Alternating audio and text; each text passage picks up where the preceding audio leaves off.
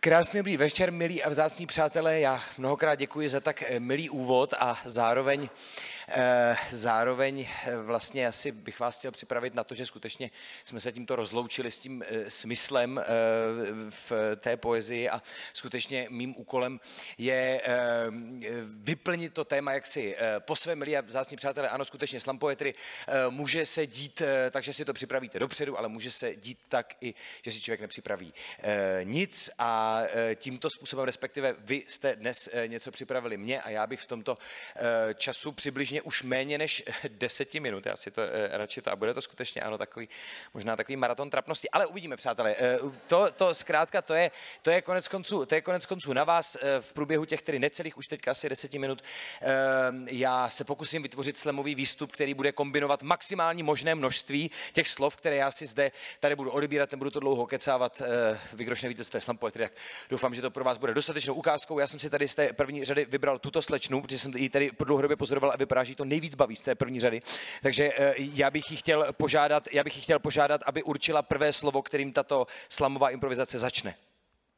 Prosím, prosím, prosím. prosím.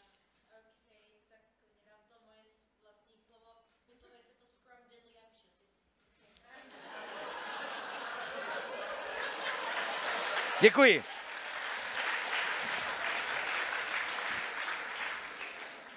Scrumdiddlyumptious směje se ze slovníků.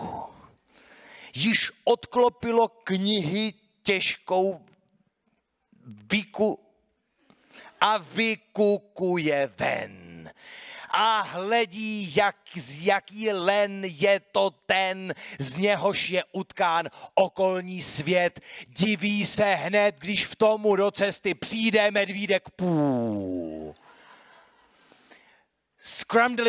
Scramdelium přesříká you.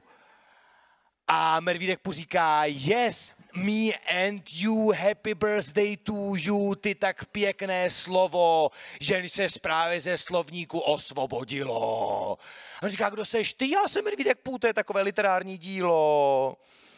Někomu je to nepříjemné, někomu je to zase milné. Když v tom čistonosoplená jen přichází na scénu, se roztáhne jako stěna a vypadá jak pirátská plachta, jak z Zimmermanů inspektor Trachta, když zastoupí dveře kriminálníkovi, jak když do dobře imunologicky připraveného Švédska přijde covid. A generace Q se všemu jenom diví mezi všemi těmi švédskými drahými pivy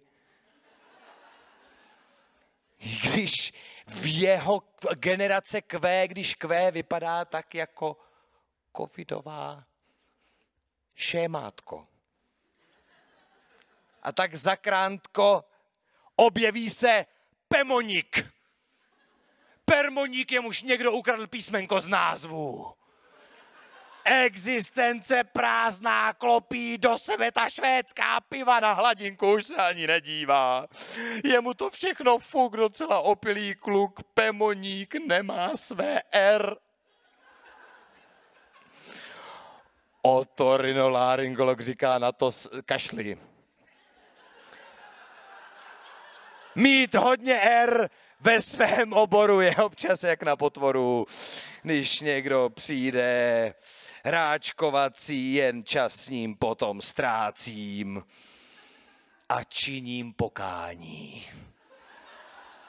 svého oboru, že poslechl jsem matku svou potvoru a šel na medicínu. Pojďte mi tu čisto nosoplínu. Chci se kát, chci se vysmrkát, troubit jako v moři vorvaň jak dýzlová benzínem natankovaná volha. Jak dělník dnešní doby, jenž dopadl stejně jako ten pemonický hobit, že někdo mu takto jméno ohl. Je to dělní Q, je to dělní generace Q nejkoulinkatější komediolog své generace. čisták. Palička občas kouká mu z jeho baťohu víčka, nep je to nevykastrovaný bubeník. Jenž při narození svůj pupeník mu přetnul sám Stalin a jeho čivavá jenž žádá občanská práva pro občanské mazlíčky v Sovětském svazu.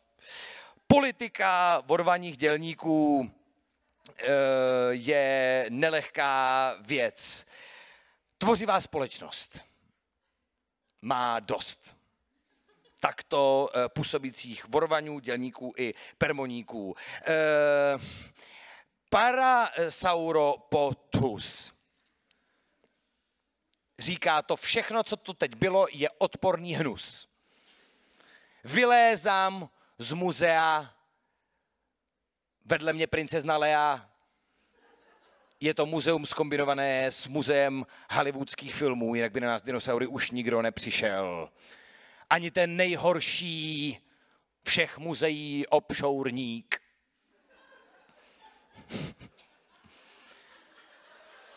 Kterému každý vycpaný dinosaurus dal by svůj vdík, když by na něj pčík.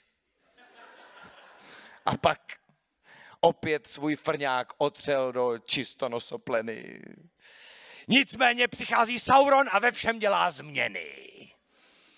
Je to takový spropadený darebák, či a jeho oko je všude.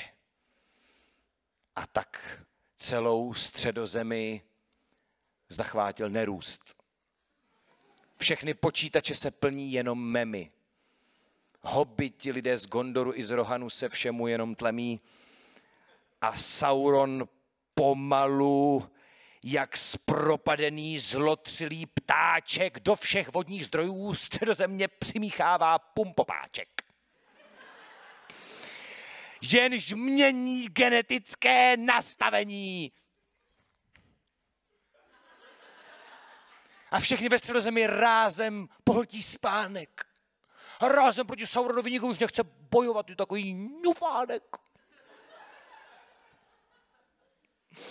Někdo je ňufánek, někdo je čaruvanga. Čak někdo přesto má tu ambition pozvednout proti Sauronovi svou tyč a hnát jej někam daleko pryč. Že Sauron nikdy se nezvedne z této deprese demence. Nikdy se nepovede jeho ambition rekonvalescence. A bude se cítit jako úplný žumpa hrůzná ambicí pumpa, že nic ze sebe nevysosá a tak jak víla plocha, bosá, čumí čulí a připadá si jako plichťák. Jí závin, mák a z nevěry se mu spovídá ptakopisk pery jenž nevíme, kde se vzal u Tolkiena, ale aspoň nějaká příjemná změna.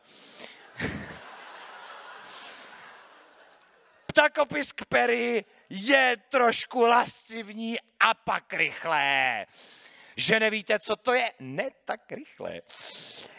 Je to specifický stav mysli, když všechny vaše mozkové buňky skysly a vy si připadáte jako prasopes.